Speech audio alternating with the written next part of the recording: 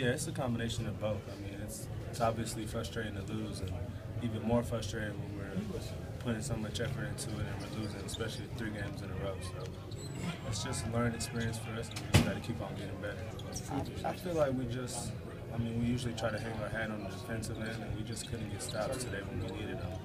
So I think that was it was more of couldn't get stops more than we couldn't score. So I mean, he was a he was a handful down low. I mean, he's a real good player. He's a real physical physical presence down there. So it was tough. We tried to throw a different a couple different things at him just to you know slow him down, uh, confuse him a little bit. But I mean, I thought he handled our he handled the pressure well. So I mean, kudos to him. He had a good game. So our legs are fine. I, I mean, it's just we practice for two hours every day. So if anything, we'll be more tired from practice than we are from a 40-minute game. So our legs are fine. We're just going to be ready for the next game on. Uh, on Tuesday, and obviously we did wear down just be, just because how hard we play.